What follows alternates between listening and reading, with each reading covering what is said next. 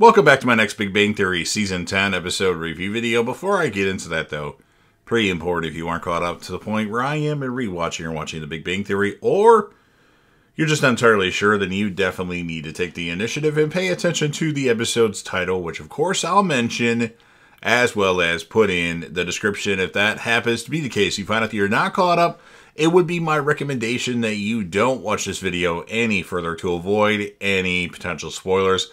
This will be The Big Bang Theory, Season 10, Episode 7. The title of this episode is called The Vera City, Elastic City.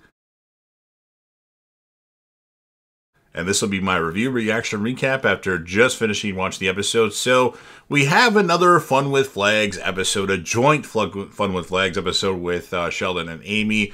And Howard and Raj have a musical spot during it. And Sheldon mentions they're filming at their friend Penny's place and they're living together. Uh, Bernadette, Leonard, and Penny are watching from the laptop at, well, Leonard and Sheldon's place. And Penny says, I can't believe I'm saying this, but can we watch the news or something?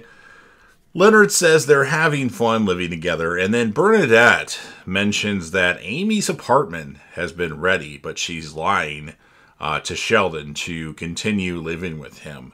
Uh, Amy's always man- manipulating Sheldon and having him believe things. That's why I think she's a bad character for the show. Like Sheldon wasn't Sheldon anymore once he started, uh, you know, doing things with Amy. I mean, there was g- good moments here and there, but like uh, Sheldon is a completely different character from where he was at the beginning of the show. But anyway, uh, Sheldon thanks Howard and Raj for their servicers, and no, they're not getting paid for this.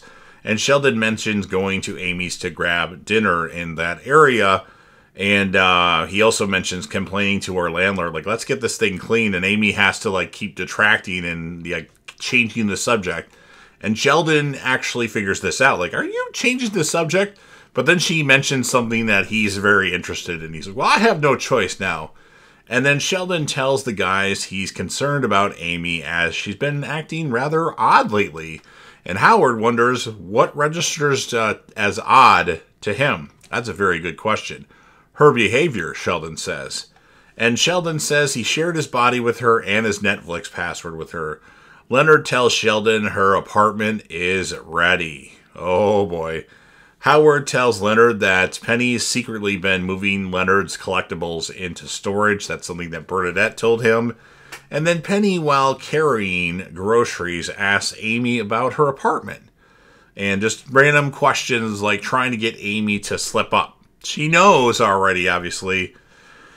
And then a Penny tells Amy uh, that Bernadette told her about the apartment, and then uh, they're they're in the uh, Leonard and Sheldon's place now, and like Leonard and Sheldon. So Penny defends saying that she went to Amy's apartment, and it's there's it's a constru- construction site or whatever it was, and then Leonard and Sheldon start speaking Klingon, and then Amy and Penny start speaking their own language, and then eventually Leonard just says I tells Amy that he told Sheldon about her apartment being done.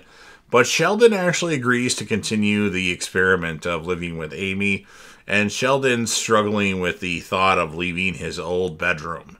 And then Sheldon actually has a dream that Leonard and Penny turned his old room into a sex dungeon. Now that's hilarious. The guys go to the comic book store, they talk about some more stuff, and then Penny tells Leonard to open his eyes and he sees his new room. And then we see that Leonard has taken some stuff out of his room that Penny put in there and puts him in the closet of Penny's apartment. And while Sheldon's sitting there on the couch, he says, Don't tell Penny. And that's what ends this episode of The Big Bang Theory. So, pretty good episode. I'm going to score this one a 7.9 out of 10. The character of the episode, it was kind of difficult. Like, there's many people that could have some consideration for it. Amy, uh, Leonard, uh, even Penny. But I'm going to give it to Sheldon in this one. And then, as many of you know, I also rate Penny because that's the reason why I started watching The Big Bang Theory and one of the reasons why I continued to watch The Big Bang Theory. So in this one, I'm going to give Penny a 9.0 out of 10. So you've heard everything that I had to say. Now it's your turn. If you're a fan of The Big Bang Theory and you want to help me out with the YouTube algorithm, please consider Hulk smashing the like button. And keep in mind, I cover a lot of stuff on this channel. I just don't call, talk about The Big Bang Theory. If you go to my playlist, you can see all the stuff I talk about. You can see UFC live fight reaction. Okay, maybe that's not your thing. Uh, Walking Dead content, Dexter content, Breaking Bad content, Game of Thrones stuff, uh, movie ranking videos, franchise ranking videos. I cover a lot of stuff, so there's got to be something else on the channel that you like. Share the video with a friend. Put this video on any one of your social media platforms. Don't forget to sound off in the comment section about what your thoughts are on this episode of The Big Bang Theory. What would you rate the episode? And who would be your character of the episode? And if you want to do what I do and rate Penny, you can certainly do that in the comment section. And then last but certainly not least, don't forget to hit that sub button. You're watching the video anyway. Join the team, show your damn support, and be a part of something special. And you never know what you're going to see on JDev TV.